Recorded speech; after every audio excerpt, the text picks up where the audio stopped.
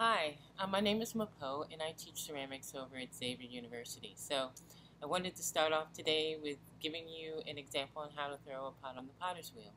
So um, this is my potter's wheel and it spins round and I'm going to take this piece of clay and I'm going to turn that piece of clay into a pot. Okay, so hope you enjoy.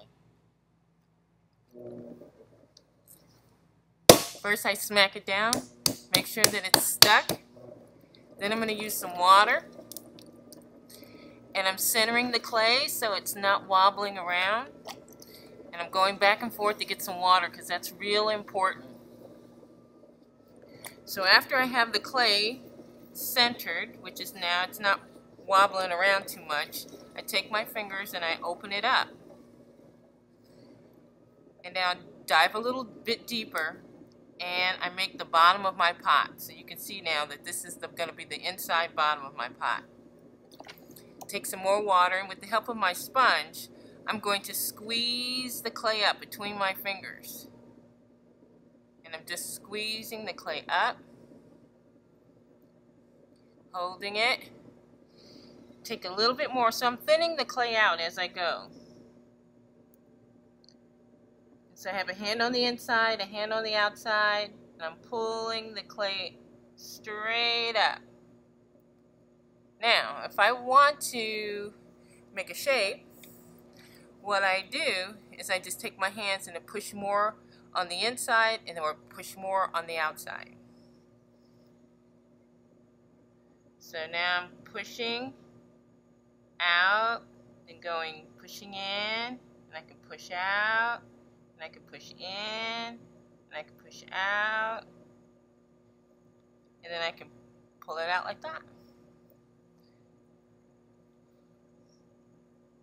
So and these marks are called throwing lines. So you can see that that's done with my fingers. But if I want to smooth it out, I can take a tool like this, metal tool, and smooth it out.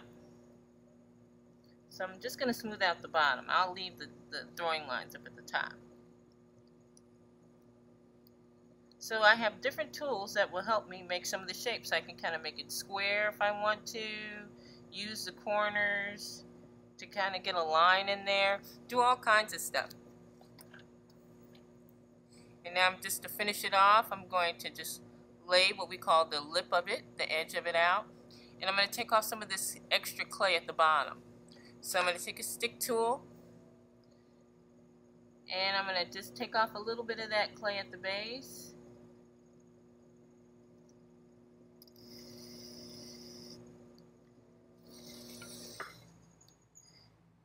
To take that off. And I'm going to clean it up just a little bit. Go back with my tool, smooth it out.